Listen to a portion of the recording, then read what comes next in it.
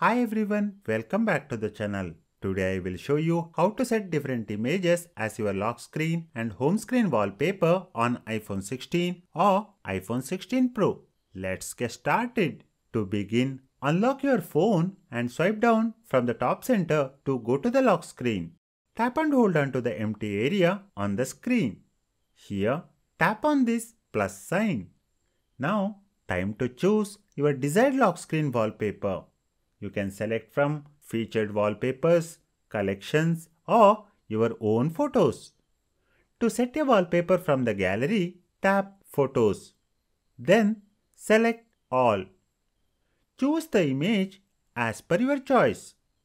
Now tap Add from the top right corner. Select Set as wallpaper pair to set it as both lock screen and home screen wallpaper. To choose a different image as a wallpaper for the home screen, tap Customize home screen and then Photos. Select All. Choose the image for your home screen. Tap Done and again Done to confirm.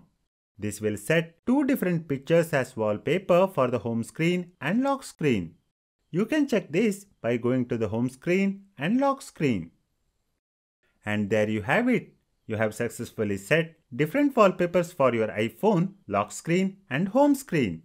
Thank you for watching this video. Please subscribe to the channel if you find these types of videos helpful.